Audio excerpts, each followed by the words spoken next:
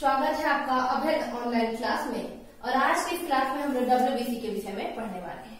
पिछले दिन की क्लास में हम लोगों ने आरबीसी के विषय में पढ़ा था। मैंने आपको बताया था कि आरबीसी और डब्ल्यूबीसी दोनों ही रक्त के ठोस भाग होते हैं। तो आज हम डब्ल्यूबीसी के विषय में जानेंगे। डब्ल्यूबीसी जिसका फुल फॉर्म होता है व्हाइट ब्लड कॉर्पसल्स हिंदी में इसको कहते हैं श्वेत रक्त कोशिका। और इसका साइंटिफिक नेम होता है लिकोसाइट जो कि हमारे रक्त का एक बहुत ही महत्वपूर्ण हिस्सा होता है। इसकी आवृत्ति अगर हम देखें तो यह अनियमित आकार का होता है और 8 से 20 माइक्रोमीटर तक की इसकी लंबाई होती है। अनियमित होता है। कल आपने देखा आरबीसी गोलाकार कॉन्केव रूप में होता था, जबकि ये आकृति इसकी कैसी है? अनियमित आकार की है और इसकी जो साइज़ है, इसका जो साइज़ है, वो है आठ से 20 माइक्रोमीटर तक।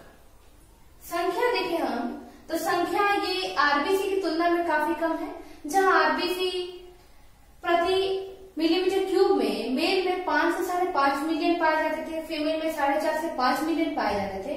वहीं इसकी संख्या, किसकी? डब्ल्यूबीसी की संख्या काफ़ी कम है, जो कि छह हज़ार से दस हज़ार है।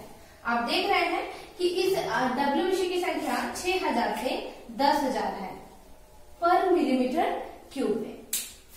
अगर हम तुलना करें कि एक मतलब आरबीसी और डब्ल्यूबीसी का तुलनात्मक दृष्टिकोण क्या है? तो छह सौ आरबीसी जब रह रहे हैं तो एक डब्ल्यूबीसी रह रहा है।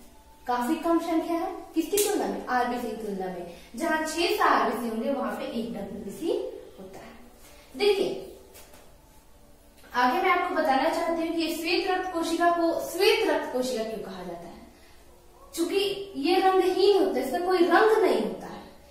जैसे कि आपने लाल रक्त कोशिका में पढ़ा था कि हीमोग्लोबिन में उपस्थित फेरस के कारण इसका रंग लाल होता है, परंतु श्वेत रक्त कोशिका में हीमोग्लोबिन पाया ही नहीं जाता है। तो उसका कोई रंग नहीं होता है, जिस कारण हम इसे श्वेत रक्त कोशिका कहते हैं। किस कारण से कह रहे हैं? इस, ये रंगहीन है, रंगहीन क्यों हो रहा है? तो इसमें हीमोग्लोबिन उपस्थित नहीं हो रहा है, जिस कारण यह रंगहीन हो जा रहा है और इसे हम श्वेत रक्त कोशिका कहते हैं। आगे हम ध्यान देते हैं ये बनता कहाँ है। तो ये रेड बॉन मैरो में ही इसका निर्माण होता है, इसका प्रोडक्शन वहाँ पे होता है। ये दो तरीके के होते हैं। एक होते हैं ग्रैनुलोसाइड और एक होते हैं ए ग्रैनुलोसाइड ग्रैनुलोसाइड जिसमें कण पाए जाते हैं, उसको ग्रैनुलोसाइड और जिसमें कण नहीं पाए जाते हैं, उसे अग्रैनुलोसाइड कहते हैं। आगे मैंने लिखा है कि इसमें हीमोग्लोबिन क्या होता है? अनुपस्थित होता है। मैंने आपको बताया है कि इसमें हीमोग्लोबिन उपस्थित नहीं रहता है। इसलिए इसे ये कैसा होता है? रंगहीन भी होता है। ठीक है? मैंने आपको बताया डब्ल्यूबीसी क्या है, इसकी आकृति कैसी है, आकार कैसा है, संख्या कितना होता है आरबीसी की तुलना में कितना होता है, यह कहाँ बनता है कितने तरीके का होता है। आगे हम लोग देख रहे हैं, यह कार्य क्या करता है। तो ये कार्य क्या करता है? मैंने आपको कल बताया था कि आरबीसी ऑक्सीजन के अन्य एक हिस्से से लेकर के दूसरे हिस्से में पहुँचाने का काम करता है जबकि डब्ल्यूबीसी क्या करता है डब्ल्यूबीसी जितने भी बाहर से जीवाणु हमारे शरीर में आते हैं, उन्हीं जीवाणुओं को नष्ट करने का कार्य करता है।